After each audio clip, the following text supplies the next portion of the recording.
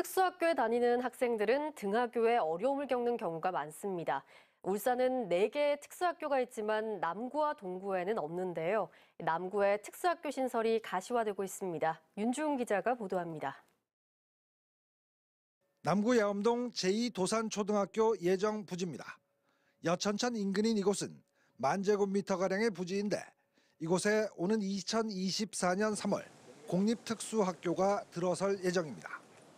울산시 교육청이 학생 수요 등을 감안해 제2도산초를 28학급 규모의 특수학교로 전환하기로 하고 교육부 중투위에 이어 울산시 도시계획도 변경했기 때문입니다.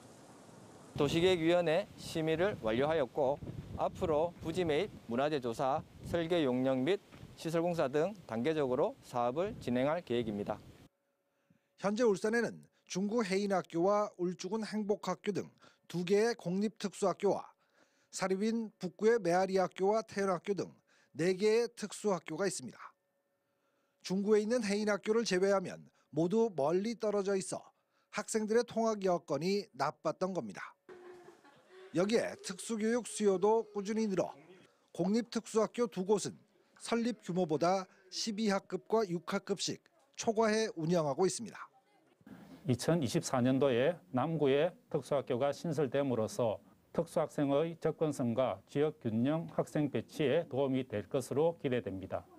신설되는 특수학교는 180여 명이 다닐 수 있어 울산 지역 특수교육 대상자의 교육 기회가 한층 확대될 전망입니다.